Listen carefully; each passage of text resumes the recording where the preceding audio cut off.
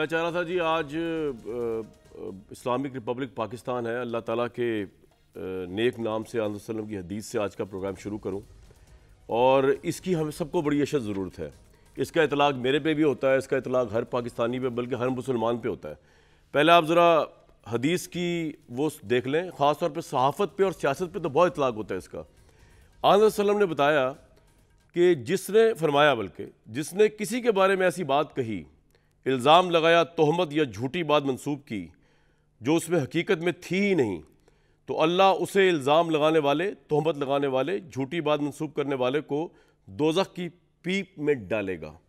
वो आखिरत में इसी का मुस्तक रहेगा। यहाँ तक कि अगर वो अपनी इस हरकत से दुनिया में बाज आ जाए, रुक जाए, तोबा कर ले तो फिर निजात मुमकिन है। बसरत अहमद सर अबी दाऊद।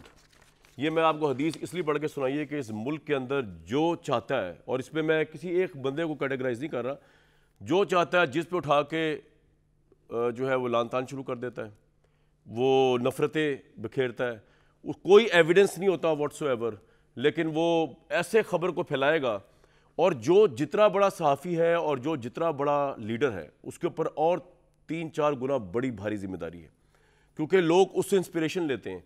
मतलब अगर लेट सपोज़ पाँच बंदे मुझसे इन्फ्लुएंस हैं, और मैं यहाँ बैठकर झूठे इल्ज़ाम लगा दूँ मुँह भर भर के दूसरों के ऊपर, जिसका नाम मुझे हकायक का पता है, ना मुझे एविडेंस है तो आख, रोज़ आखिरत भी अजाब है, और ये दुनिया में भी जो है, ये रिस्क आप जो है, आपका हराम है। इस तरह बड़े बड़े लीडर्स उनमें खुआ नवाज़ शरीफ साहब हों, जरदारी साहब हों, जिनकी फॉलोइंग है, और सबसे बढ़कर इमरान खान साहब। अगर इनकी स्कूलों की सबसे ज़्यादा फॉलोइंग है अगर वो भी झूठे इल्ज़ाम लगाएँ तो अल्लाह के नज़दीक तो अल्लाह ने पॉपुलैरिटी नहीं देखनी, कौन सा बड़ा एंकर है, कौन सा बड़ा इमरान खान है, कौन सा बड़ा कामरान शाहिद जरदारी है, उसकी अदालत में तो सब एक जैसे ही हैं और इंसाफ का तकाजा यही है। और वेस्ट के अंदर, मैं जब वहाँ पर पढ़ने गया लंडन में तो उन्होंने मुझे, मैंने उनसे पूछा थीसिस लिखते हुए तो उन्होंने बताया कि जितना बड़ा चाहे दावा कर लें आप थीसिस में डजेंट मैटर लेकिन जितना बड़ा दावा, उतना बड़ा रेफरेंस सही होता है। ये है वो अकवाम जो ऊपर गई जो हल्की बात नहीं करती थी एविडेंस के बगैर मुँह नहीं खोलते थे। तो इल्ज़ाम आप जितना बड़ा लगा दें, लेकिन उसके बाद आपको उसको साबित करना पड़ता है। इस वक्त इल्ज़ाम का बाज़ार गर्म है पाकिस्तानी सियासत में, और F I R Imran Khan साहब की अभी तक मुतराज़ा बनी हुई है। इमरान खान साहब ने तीन लोगों पर इल्ज़ाम लगाया, उसका एविडेंस उनके पास ही होगा। और मैं तो कहता हूँ कि अदालत को उनको बुला के पूछना चाहिए, क्योंकि वो तीन लोग आम लोग नहीं हैं। एक सिक्योरिटी इदारे के अला तरीन अफसर है, एक मुल्क के प्राइम मिनिस्टर है, एक वज़ीर दाखिला है। जो एफ़ आई आर हुई भी है, वो इमरान खान साहब के हिसाब से नहीं हुई, उन्होंने उसको रिजेक्ट कर दिया लेकिन इमरान खान साहब ने और बड़े बड़े हमले किए साफ़ियों के ऊपर भी, और उन्होंने नाम ले ले के साफ़ियों की नेम कॉलिंग करके उनको भी साथ मिला दिया अपने हमला करने वाली, साजिशों वाले एलिमेंट्स के साथ। और अब पता नहीं उसका एविडेंस उनके पास क्या है। सी एन एन के अंदर उन्होंने एक इंटरव्यू दिया, और सी एन एन और अमेरिकन चैनल्स को तो खैर हमारे मुल्क के जो लीडर्स हैं हुआ वो सागडार साहब हो या इमरान खान साहब हो, वो बहुत क्रेडिबल समझते हैं। उन्होंने जो सवाल जवाब उनसे हुए, उसमें उनका एक ही नुकता था कि जो आपने तीन नाम बताए हैं, जिसके लिए आप बजिद है कि आपकी पंजाब गवर्नमेंट भी आपकी बात सुनने को तैयार नहीं, आपका परवेज़ लाही साहब आपकी बात सुनने को तैयार नहीं क्योंकि एफ़ आई आर में उनका नाम नहीं आया, वो नवीद का नाम आया, वो उन तीनों का नाम नहीं आया जो इमरान खान साहब चाहे, अपने पंजाब के सूबे में नहीं वो करा सके।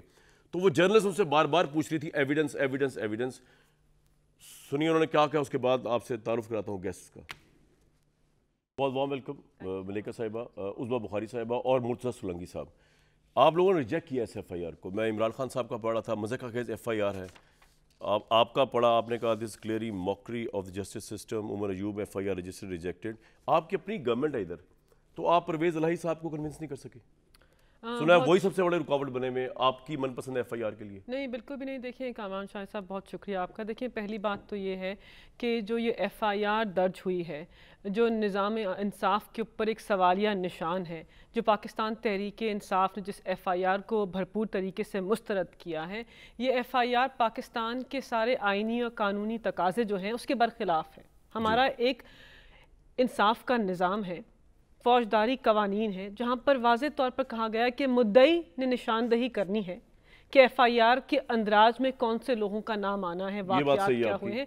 और पुलिस फोर्स ने उसको फिलबदी वैसे ही लिखना है जैसे मुद्दई ने बयान किया। तो आपकी अब ये बलेका साहब आप बिल्कुल ठीक कह रही कल भी मैंने सवाल उठाया था कि ये आपकी चॉइस होनी चाहिए जिस जिसको जो छोड़े इस बात को सी को एविडेंस दे सके कि नहीं दे सके एविडेंस है या नहीं लेकिन जो उन्होंने ख्वाहिश का इजहार किया वो होना चाहिए। लेकिन अब बात यह है कि साढ़े तीन साल पुलिस आपके अंडर थी बुजदार की यहाँ गवर्नमेंट थी आपने उसको नॉन पोलिटिसाइज करना था। पहली बात तो आईजी पंजाब तो रोक ही नहीं सकते एस को तो एस का मामला है ना?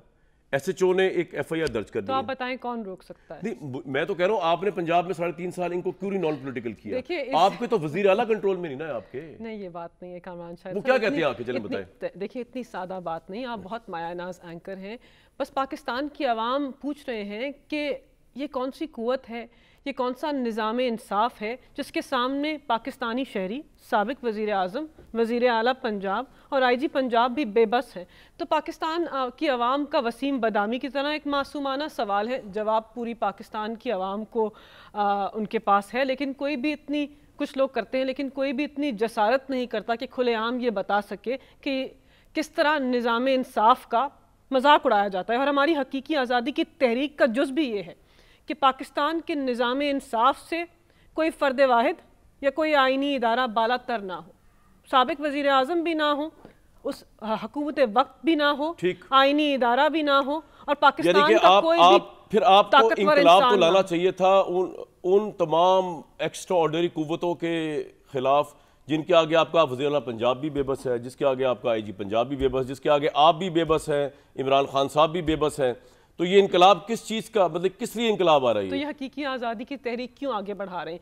क्यों हम उसी मुकाम से आज़ादी की तहरीक गवर्नमेंट वहीं एफ़ आई आर करती। हम सुन लीजिए मैं हकीकी आज़ादी की तहरीक का आगाज़ वहीं से हो रहा है जहाँ मोहसिन पाकिस्तान का खून बहा था। हम भी जानते हैं क्या मुश्किल हैं हम भी जानते हैं क्या रुकावटें हैं लेकिन हकीकी आज़ादी की तहरीक का जुज ही यकसा निज़ाम इंसाफ है। एक तवील जो आप साढ़े तीन साल देने में नाकाम रहे लेकिन आप कह रहे हैं अब अभी भी आपकी पंजाब में गवर्नमेंट अभी भी आप दे साढ़े तीन साल नहीं जो पाकिस्तान मजमुई तौर पर दिहाइयाँ नहीं हासिल कर सका हम उसकी हम उस तहरीक का आगाज़ कर रहे हैं। जो गवर्नमेंट आपने रखी हुई है ये किस लिए रखी हुई है? इमरान खान साहब ने तो कहा था कि मैं आइंदा कॉम्प्रोमाइज होकर पावर में आऊँगा ही नहीं। आपको जब पता है कि परवेज लाही इज़ राइट नॉ कॉम्प्रोमाइज वो डर रहे हैं इमरान खान तो नहीं डर रहे ना? ही इज़ नॉट कॉम्प्रोमाइज तो वो डर रहे हैं? देखिए डरने की बात नहीं है। पाकिस्तान तहरीक इंसाफ को उनकी क्यादत के ऊपर पूरा यकीन है। परवेज लाही साहब बहुत ही बेहतरीन माया सियासतदान है। देखें जो रुकावटें पुलिस अफसर एक दूसरे की तरफ़ देखते हैं कहते हैं इस्तीफा भी इस्तीफा भी देने साहबा छोड़ दें ऐसी हुकूमत। इसकी वजह ये तो हम करेंगे आपने ये कहा था कि अब हम इस तरह की किसी कॉम्प्रोमाइज पोजीशन में जाएँगे नहीं आएगा कामरान शायद साहब यकीन मानिए कि पाकिस्तान तहरीक इंसाफ की क्यादत को अपने वर्कर्स सपोर्टर्स और पाकिस्तान की आवाम को सलाम पेश करना चाहते हैं जिन्होंने तीन बड़ी मज़बूत और बहुत ही अहम शख्सियात का नाम लेकर खुलेआम कहा कि इन तीन लोगों का नाम एफ़ आई आर का जो है कट तो गई लेकिन एफ़ आई आर कटने के बाद जो है इस वक्त पोजीशन ये हुई है कि इनकी अपनी हुकूमत है उसके बावजूद वो उसको रिजेक्ट करते फिर रहे। ये इंकलाब लेके आना चाह रहे हैं लेकिन वो इंकलाब आया नहीं। पंजाब में आपकी बड़ी गिरफ्त रही। ये मामला आपने तो नहीं ख़राब किया हुआ कि एस एच ओ को भी साथ मिलाया हुआ आपने पुलिस ऑफिसर्स को भी साथ मिलाया हुआ तो परवेज इलाही को भी आपने कहा हुआ कि जनाब टेंशन नहीं लेनी। दस बद्दों का मामला आप हमारे साथ आ जाए आपको वजी अला बना देंगे। असल मसला क्या है भाई? ये क्या हो रहा है इस मुल्क में? बहुत शुक्रिया कामरान। पहले तो मुझे बड़ा मतलब दिली हमदर्दी है मलाइका से। अब आप उनके ज़रा खुद अंदाज़ा लगाइए, जो दो तीन बातें उन्होंने, दो पॉइंट्स कहे। पहले जो आपने सवाल पूछा उनसे, कि आपने तो सिस्टम ठीक करने आए थे, आपको याद है ना, मिसाली पुलिस खैबर पख्तूनख्वा में बनाई जा चुकी है। और वहाँ के जो इंजीनियर थे, दुरानी साहब, उनको लाया गया पंजाब के अंदर भी। वो दुरानी साहब भाग गए तीन महीने में अपना बिस्तरा गोल करके उन्होंने कहा कि मैं नहीं कर सकता ये मेरे बस की बात नहीं है। उसके बाद इमरान खान साहब के वसीम अक्रम प्लस यहाँ पर रहे और इस वक्त भी पंजाब के अंदर ख़ास तौर पर जहाँ वजीराबाद में ये वाक़ हुआ है वो इनके आ, इसको कहना चाहिए कि परवेज़ लाई की नाक के नीचे हुआ है। सो ये बातें और अभी मासूमाना अंदाज में मलाइका ने कहा वो पूरी पाकिस्तानी कौम को पता है वो बताना नहीं चाहती आपको तो पता ना आप बता दें। आप खुल के बोलती क्यों नहीं इसका एक और वर्जन भी है। मैं आपको एक बात बताऊँ उसमें साहब एक मिनट जाए। इसका एक वर्जन और जो आप लोगों ने दिया है वो वर्जन जो है पहले मैं सुनवा दूँ जरा लोगों को और मैं फिर आपसे पूछूँगा कि क्या आप समझते हैं कि इस वजह से इमरान खान साहब लोगों की तवज्जो हटाना चाह रहे हैं जो आपका ऑफिशियल वर्जन आया है? बताएँ जी राना सरोल्ला साहब ने क्या मजहबी दावों के हवाले से बात की और वो क्यों कहते हैं कि इमरान खान उन तीन का नाम इसलिए देना चाह रहे हैं क्योंकि वो इस फैक्ट को छुपाना चाह रहे हैं? सुनवाएँ जी पूछें फिर उजमा साहिबा से।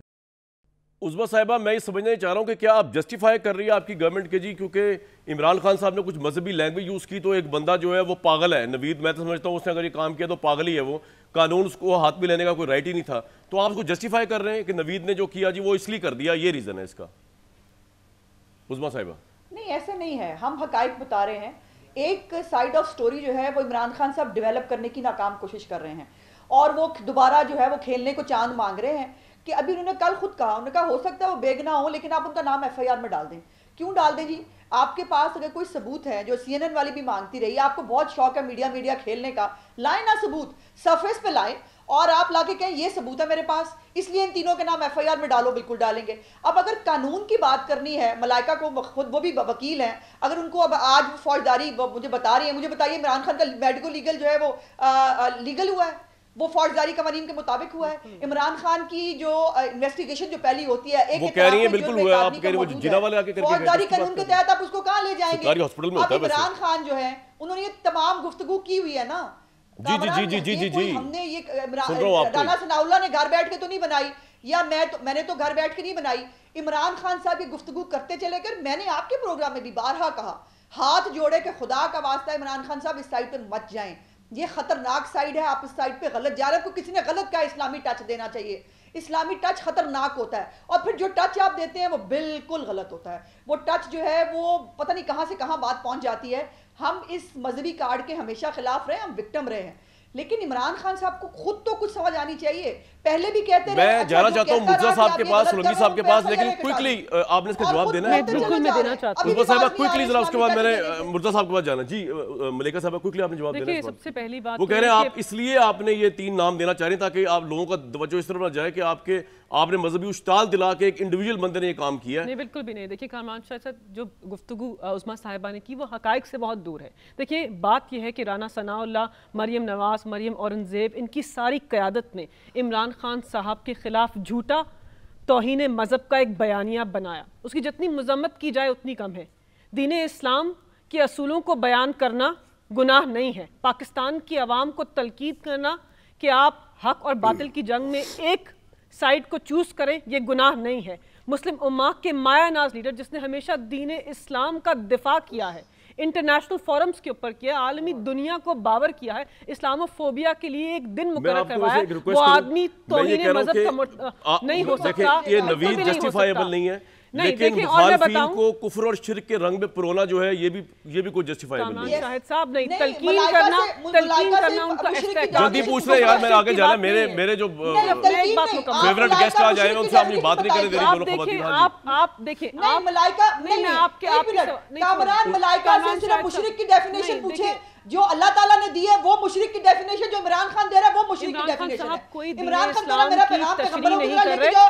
ये मैंने कहा मैं कहता हूँ सियासतदानों से हाथ जोड़ के कि आप लोगों में से कोई इस काबिल नहीं है कि मज़हब की तशरीह करे। देखिए मैं मुकम्मल कर मैं मुकम्मल कर उस साहब एक मिनट रुक जाइए सुनिए मलाइका के मुँह से? देखिए मेरी बात सुने। क्या आप क्या कह रहे हैं मलाइका से मुशरिक की डेफिनेशन आज सुनिए।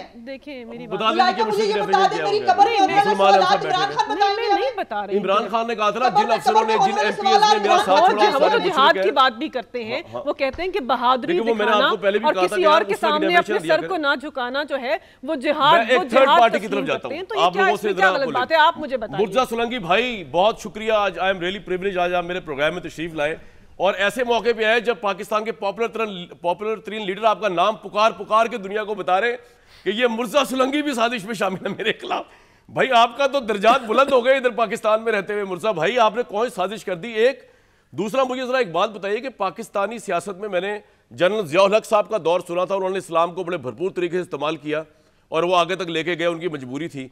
लेकिन आज के ज़माने में दोबारा इमरान साहब ने जिस तरह रिवाइवल किया इस्लाम का, एक तो अच्छी बात है रहमत आलमीन अथॉरिटी जिस तरह उन्होंने कायम की, लेकिन फिर जो अपोजिशन को उनसे इख्तलाफात हो रहे हैं कि मुखालफी को जिस तरह वो तर्ज मुखातिब कर रहे हैं, आपको लगता है ये वजह हो सकती है नवीद की मोटिवेशन की और ये जस्टिफाइबल है? मुर्जा साहब। आपने दो सवाल किए मैं मुख्तसर जवाब देता हूँ ताकि आपके वक्त की बचत हो। सर। जो पहला सवाल है कि उन्होंने क्यों याद किया वो सिर्फ़ मुझे याद नहीं किया। मेरे दो और जो दोस्त हैं और हम्म। सहाफ़ी दोस्त हैं वकार सती उनका नाम उन्होंने ज़्यादा लिया और उनका नाम उन्होंने सी एन एन पे भी लिया। तो उन्होंने वकार सती की ज़िंदगी ज़्यादा ख़तरे में डाली है। तो एक तो ये बात है हामिद मीर कभी उनके करीब होते हैं कभी उनके उनसे दूर होते हैं लेकिन उनका नाम भी लिया। मुख्तसर बात जो है वो ये है कि हम लोग जो हैं सहाफ़ी वो कई दफ़ा जो हाथियों की जो लड़ाई है उसमें घास की तरह से पिस जाते हैं। तो इस इस तरह से हम उसके बीच में आ गए हैं।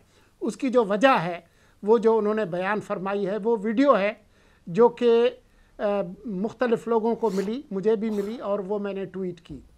तो वो क्योंकि वो वीडियो का ज़ाहिर होना उनके जो मुमकिन सियासी मकासद से उनसे टकराव में आया है और उसका वो फ़ायदा नहीं उठा सके उस अलमनाक सूरत हाल का जिसकी हम सबने मजम्मत की सही। तो उस वजह से उनको गुस्सा है अ, बाकी जो दूसरी जो बात है वो ये है कि ये पाकिस्तान के अंदर जो अदम बर्दाश्त है फ़िरके वारियत है इस्लाम के नाम पर जो है वो अपने ग्रोही मफादात को आगे बढ़ाना उसकी तारीख पुरानी है।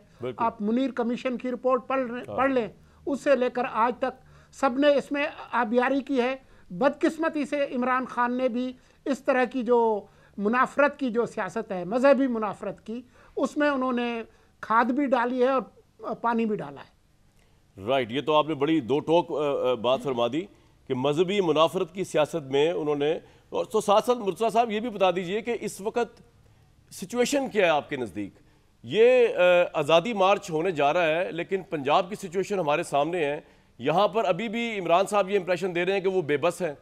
लेकिन वो इस बेबसी के साथ इसी पंजाब की इसी क्यादत के साथ इस मुल्क को एक हकीकी आज़ादी दिलवाने जा रहे हैं। आपके नज़दीक वट इमरान खान हकीकी आज़ादी march stand for right now सवाल बहुत बड़ा है लेकिन आप मैंने कहा जवाब तो आप जिस देंगे। तर, जि, जिस जी। जी जी जिस तरह से मेरी बहन ने एक मासूमाना सवाल किया था तो मैं एक मासूमाना जवाब दे देता हूँ।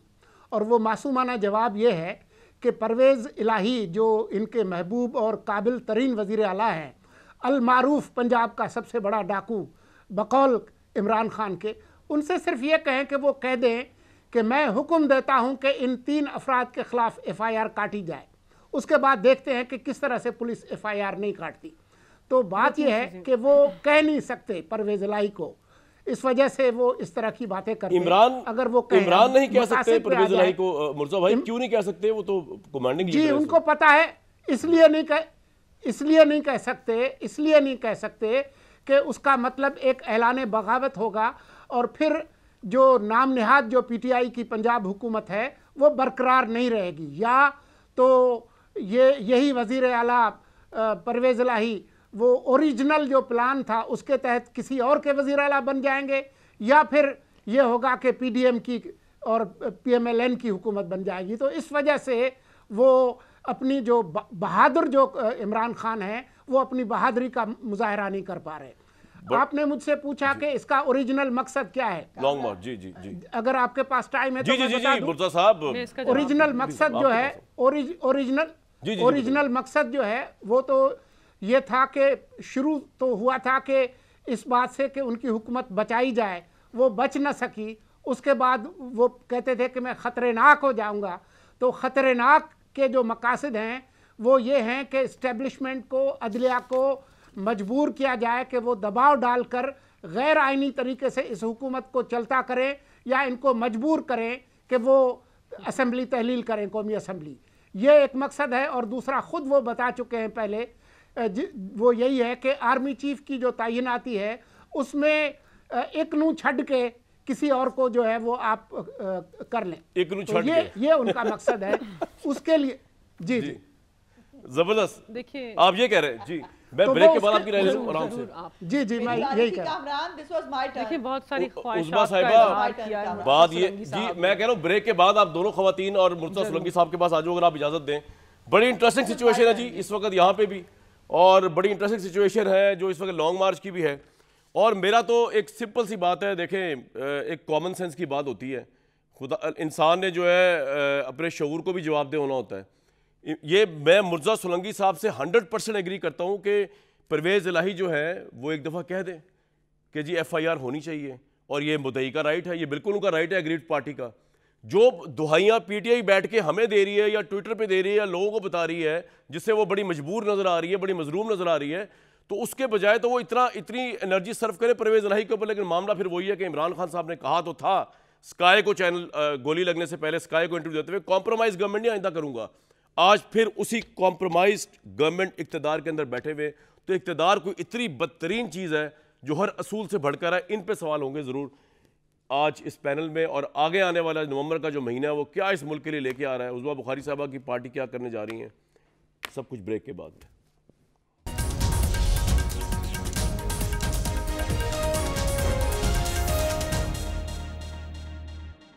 बड़ी जी अमेजिंग और इंटरेस्टिंग सिचुएशन है पाकिस्तान की सियासत की। इमरान खान साहब इलेक्शन चाहते हैं, वो डिनाई करते हैं कि वो आर्मी चीफ की तैनाती में उनका कोई वो नहीं, लेकिन सब लोग ये समझते हैं कि उनका है। वो चाहते हैं कि तैनाती कॉन्ट्रोवर्शियल हो, वो चाहते हैं कि तैनाती, और कॉन्ट्रोवर्शियल क्या टैक्सला में तो उन्होंने कह दिया था कि ये लोग लगाएँगे तो वो आर्मी चीफ ही ठीक नहीं होगा मुहब वतन नहीं होगा। खैर, यहाँ तक तो वो जा चुके हैं।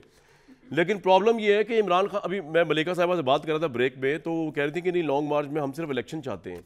तो मलिका साहबा इलेक्शन तो दो, आप कौन सा इलेक्शन लास्ट टाइम जीते? क्वेश्चन ये है कि 2018 का इलेक्शन आप जीते? और आप सवाल एक मिनट सवाल। आप इलेक्शन जीते 2018 में उसके बाद तो इलेक्शन कोई हुआ नहीं। आप मुजीबुर रहमान की जो डेफिनेशन देते हैं वो दिसंबर उन्नीस सत्रह का इलेक्शन जीता हुआ था कौमी असम्बली का इजलास हो नहीं रहा था जनरल याया बुला नहीं रहा था उसको उसका मैंडेट दिया नहीं गया। आप लास्ट इलेक्शन जीते 2018 का। आप लास्ट इलेक्शन सुन तो ले। नहीं नहीं नहीं जनरल इलेक्शन की बात हो रही है। आप दो हज़ार का इलेक्शन जीते मेरी बात तो सुन लें। उसके बाद वोट ऑफ़ लो कॉन्फिडेंस में आप बाहर आ गए। उसके बाद नेक्स्ट इलेक्शन हुए कोई नहीं तो आप कौन सा इलेक्शन कह रहे हैं जो आपसे स्टील कर लिया गया?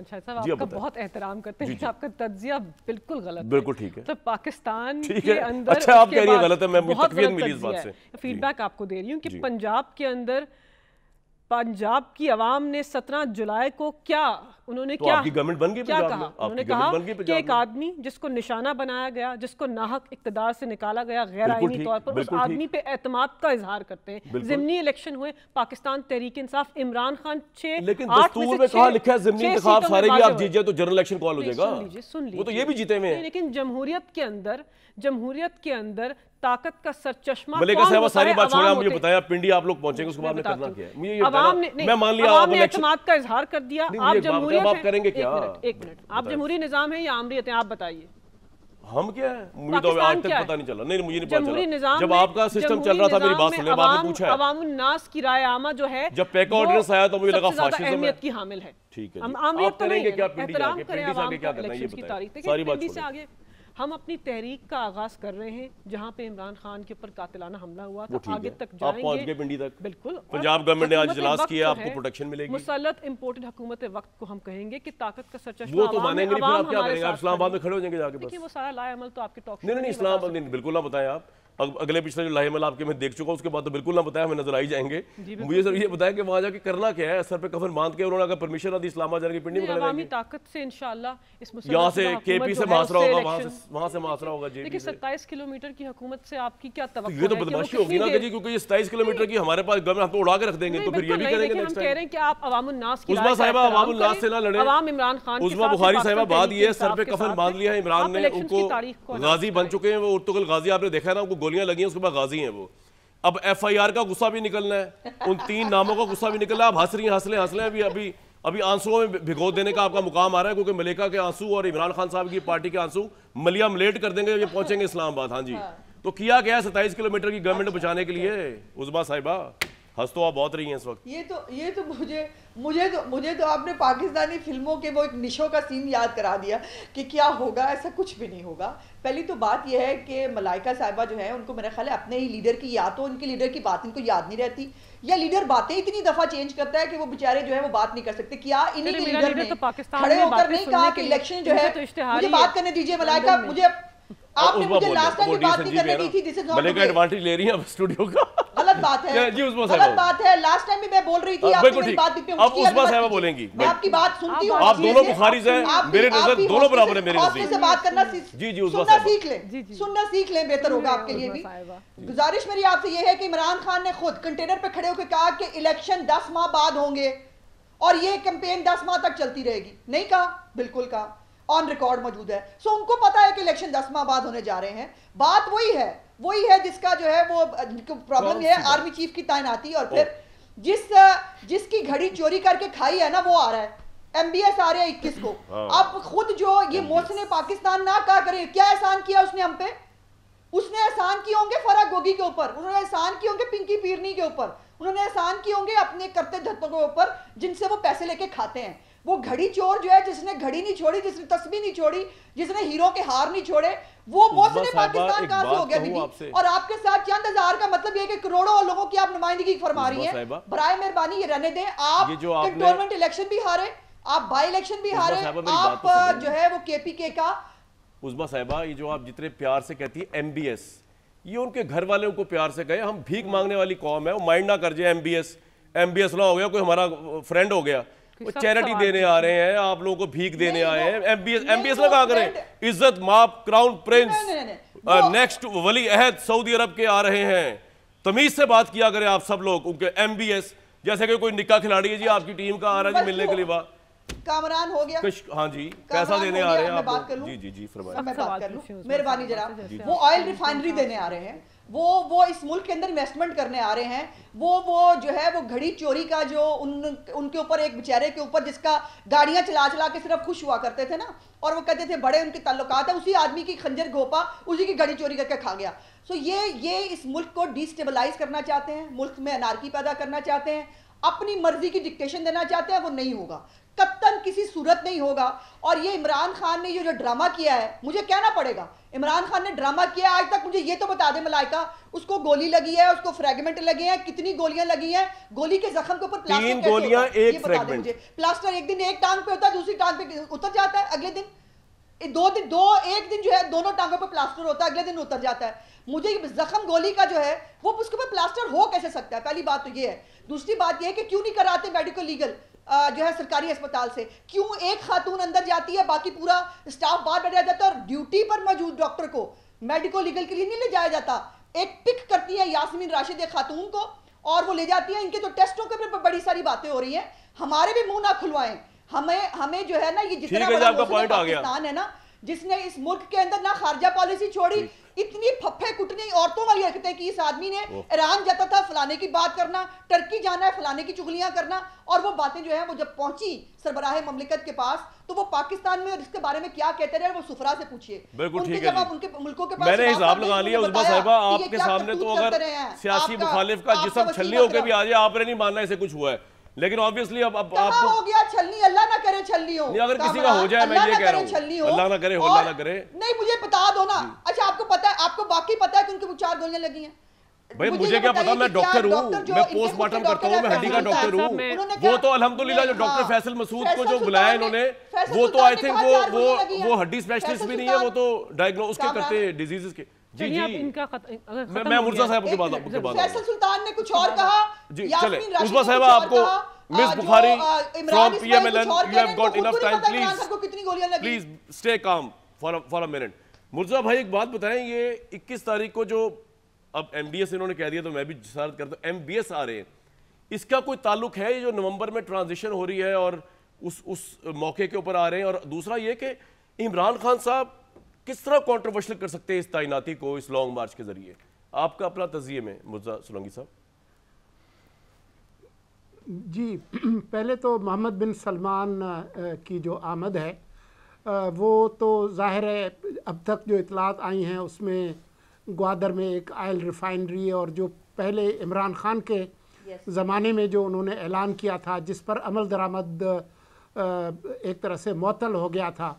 आपको याद होगा कि जब इमरान खान जो है वो उनकी गाड़ी ड्राइव करके ले आए थे तो वो बाद में फिर जिस तरीके से खारजा पॉलिसी उन्होंने की न्यूयॉर्क का वाक़ आपको याद होगा जो जहाज़ वापस चला गया था।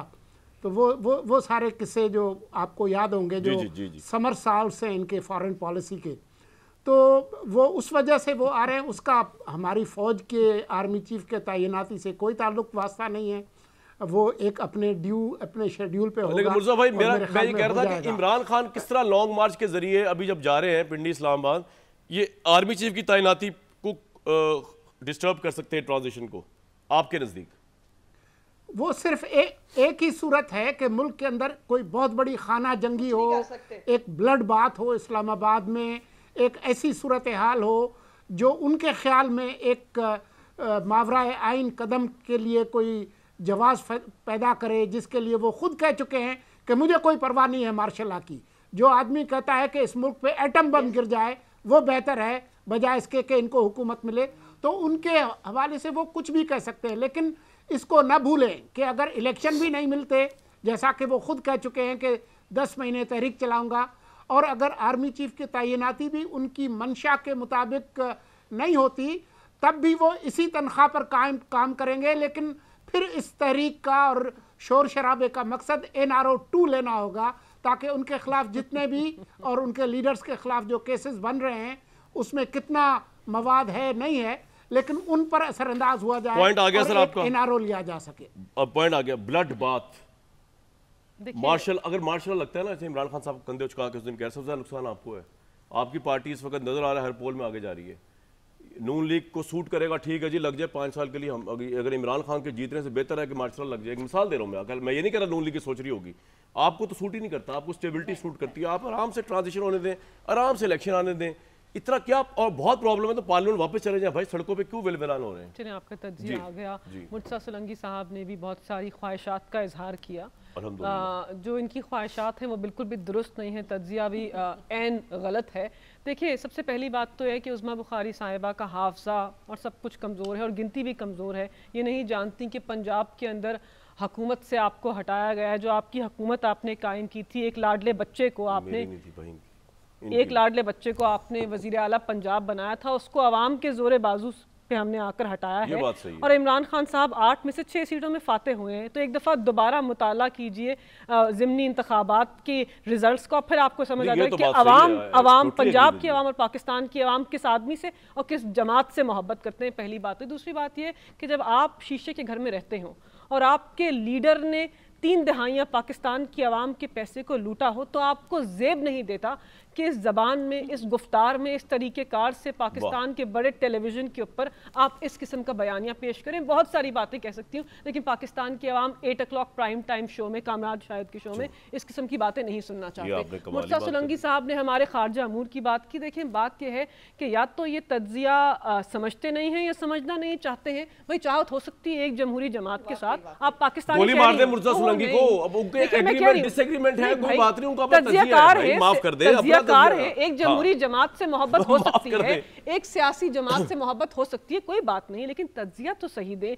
क्या इमरान खान जब वज़ीर आज़म थे तो इसी आदमी ने नहीं कहा था कि मैं पाकिस्तान का सफीर हूँ सऊदी अरेबिया के अंदर। क्या पाकिस्तान के खारजा अमूर जो है की बातें कर रहे हैं जब आपने उर्तुकुल बुला बुला लिया ओआईसी के मलेशिया ईरान के साथ कॉन्फ्रेंस बुलाने जा रहे थे। पाकिस्तान की आवाम के लिए साहब क्या कह रहे हैं आपने फिर मैंने बड़ी धुआंधार ब्रेक लेने का वापस आना है एक सेकंड जी उस्मान साहब क्या कह रहे हैं भाई एक तो दो बुखारिज के दरमियान ऐसे है कि a rose between the two thorns जी फरमाइए फरमाइए। जी जी जी। मुर्जा भाई आप साइड पे मैं वैसे बात कर अल्लाह ताला जब अल्लाह ताला ने सिर्फ़ जो दी, दीन है जो मज़हब है जो अखलाकियात है सारा दिमाग और जहानत जो है वो सिर्फ़ पीटीआई के लोगों को दी है। बाकी पूरा जो पाकिस्तान है ना वो वो बिल्कुल खाली है। अब मोहतरमा जो है अपने ही जरा उसको फरमा लें। आप कंटोनमेंट इलेक्शन हारी आप बाई इलेक्शन मैं कह रहा हूँ कि जी ये सारी डिटेल अभी आपसे दोबारा सुनता हूँ। मुझे मुझे सिर्फ़ एक ब्रेक के लिए इतना कुछ कहा जा रहा है इतना कुछ कहा जा रहा है मुझे खुदा का वास्ता एक ब्रेक लूँगा मैं।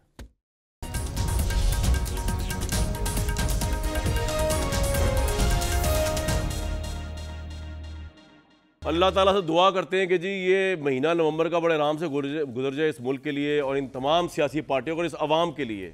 कल तक दीजिए इजाज़त।